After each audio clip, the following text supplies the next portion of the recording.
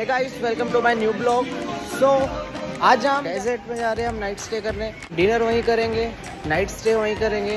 तो वो सब आपको दिखाते रहेंगे लाइव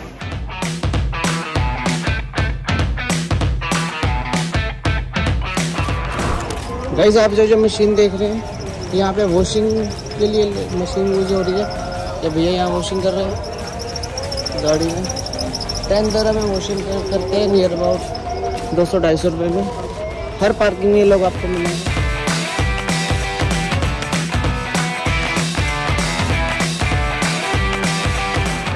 इंडिया के मैचेस भी होते हैं यहाँ पे।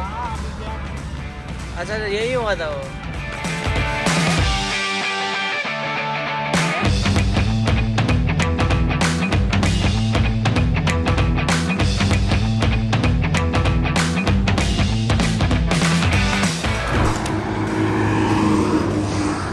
गाइस फाइनली हम पहुँच चुके हैं।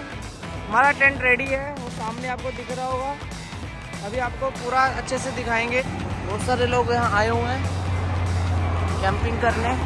डेजर्ट कैंपिंग वहाँ भी लोग बैठे हैं काफ़ी। अपनी अपनी गाड़ी गाइस रेत बहुत ही ठंडी है यहाँ पे। पैरों में बहुत ठंड लग रही है। सामने देख रहे हैं। ये हमारा कैंपिंग टेंट है। हम रात यहीं पे सोने वाले हैं आज। कल सुबह ही जाएँगे। डेजर्ट सफारी में जो घूमने आए हैं लोग। ये अपनी अपनी गाड़ियाँ लेके जा रहे हैं।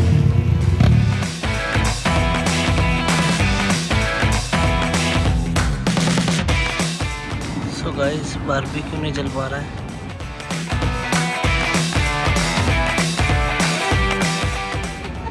बहुत दिक्कत आ रही है। हमारे गत्ते खत्म हो गए। अभी हमारे बंदे पड़ोसियों से मदद मांगने जा रहे हैं। बारबेक्यू जलाने में लेट्स सी क्या करके आते हैं। तब तक आप व्यू देख लो। वहाँ भी लोग बैठे मज़े करते हैं। क्या मिला?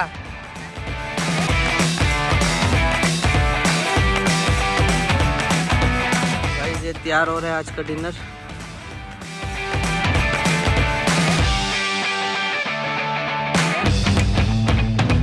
डेजर्ट कैंपिंग चल रही है। बस अभी हमने डिनर ही किया है। तो नाइट स्पेंड यहीं पे करनी है आज।